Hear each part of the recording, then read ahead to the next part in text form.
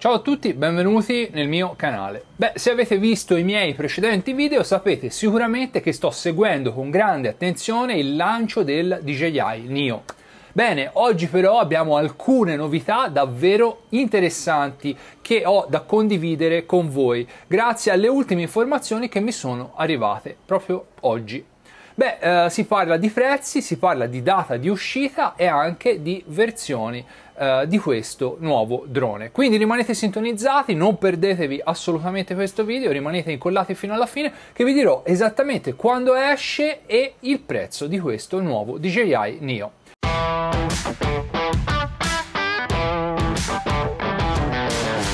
Prima, come al solito, vi chiedo un like sulla fiducia, iscrivetevi al canale se ancora non siete iscritti, se vi va, e, e niente, e lasciatemi un commento se avete qualche dubbio su quello che vi sto appena dicendo.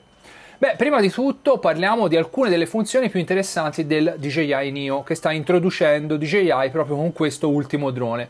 Una sicuramente è quella che riguarda il volo senza radiocomando. Lo potremo pilotare come over, quindi tramite il display che state vedendo adesso in questa immagine possiamo andare a programmare il tipo di volo che vogliamo fare con questo nuovo drone. E questo è fantastico non solo per chi ha le prime armi, ma anche per chi ha le mani occupate, magari sta facendo un'escursione e si vuole riprendere, beh, eh, senza niente in mano.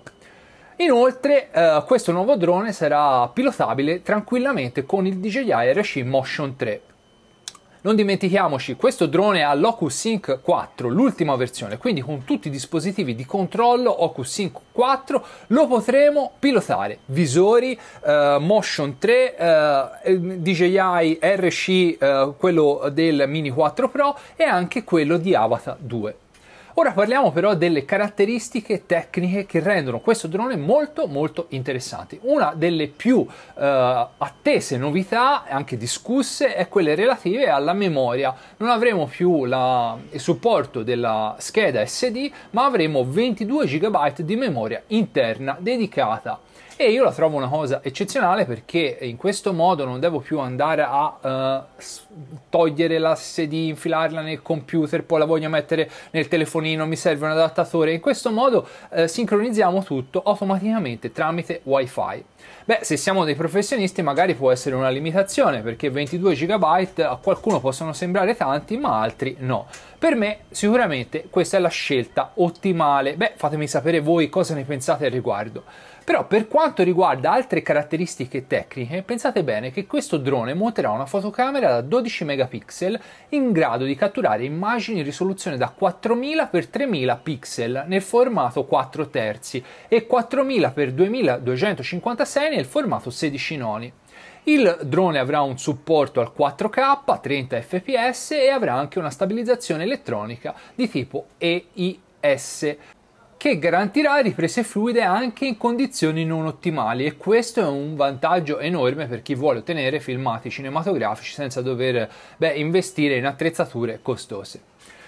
Inoltre, un'altra cosa che molti mi hanno chiesto, ma che adesso possiamo dare per certo, è che il drone sarà dotato di un sistema GPS.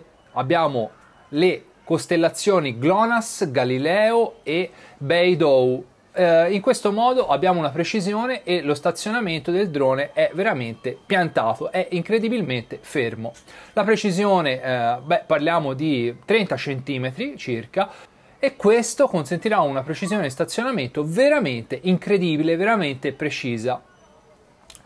Eh, ma non solo, questo consentirà anche il ritorno a casa automatico, una funzione molto molto interessante, una funzione di sicurezza e utile in qualsiasi caso, uh, tranne che noi voliamo nel, uh, al chiuso, quindi una funzione però che è molto molto importante avere. Parliamo della resistenza al vento. Prestazioni di volo, beh, parlano di mm, una resistenza al vento fino a 8 metri al secondo, che corrisponde al livello 4, quindi non al livello 5 come il Mini 4 Pro o gli altri droni della serie Mini rilasciati ultimamente, ma uno step precedente, uno step un pochino più basso, ma è giusto perché è un drone che pesa pochissimo. In termini di autonomia, questo nuovo drone avrà una durata di volo stimata di 18 minuti e questa è più che sufficiente per la maggior parte delle sessioni di ripresa perché consideriamo che abbiamo un micro drone tra le mani, quindi 135 grammi, beh, mi sembra una durata 18 minuti compatibile e più che sufficiente.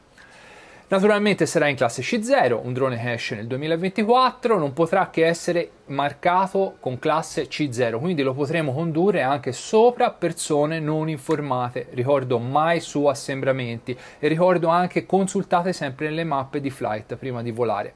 Le dimensioni sono di 130 x 157 x 48,5 mm, non è ripiegabile, questa è una cosa, mi dispiace, però è così.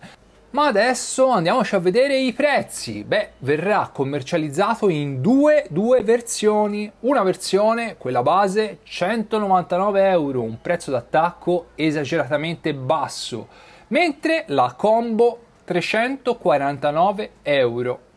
Beh, eh, inoltre vi dico anche il prezzo delle batterie che verranno 39 euro a batteria quasi sicuramente questo, queste versioni comprenderanno il uh, drone nella versione base e poco più la batteria, forse il radiocomando, quello standard, quello DJI senza display. Beh, questo prezzo è veramente basso, mi farebbe pensare che forse però potrebbe non esserci il radiocomando, non sono sicuro. Beh, eh, l'altra versione, quella da 349 euro, la combo comprenderà tre batterie, la basetta di ricarica e il radiocomando o il, o il motion control. Nelle foto trapelate si vede sempre il radiocomando DJI RCN2, però non abbiamo la certezza che questa sia la versione che verrà ufficialmente poi venduta nei negozi. Il drone verrà eh, commercializzato il 9 settembre. Quindi abbiamo la data adesso ufficiale 9 settembre. Ricordatevi di questa data, se magari avete eh, intenzione di acquistare un drone potete già programmare l'acquisto su queste informazioni che per me sono sicuramente attendibili. Sicuramente è un drone che porterò qua nel canale, quindi vi invito a rimanere sintonizzati, ci saranno molti video al riguardo, un drone che me lo vado a acquistare, l'ho già preordinato, me lo andrò a acquistare al mio negozio di fiducia, non me lo mandano a differenza di qualche fortunato che lo riceve in regalo in qualche modo, però questo mi garantisce sicuramente nei vostri confronti una trasparenza massima perché se il drone varrà effettivamente l'acquisto ve lo dirò senza nessun tipo di timore perché magari me lo hanno mandato e quindi un po' di reverenza nei confronti di chi me lo ha spedito gratuitamente ci potrebbe essere. Beh, quindi vi invito a rimanere sintonizzati e supportarmi in qualche modo acquistando dai miei link che lascio qua sotto al canale anche su Amazon. Penso che Amazon sia diciamo il canale migliore per acquistare comprare un drone perché abbiamo anche modo di vedere se effettivamente è una cosa che fa per noi e abbiamo i 30 giorni di tempo poi per poterlo restituire. Beh, eh, rimanete sintonizzati quindi, ci vediamo nuovi video, alla prossima, ciao!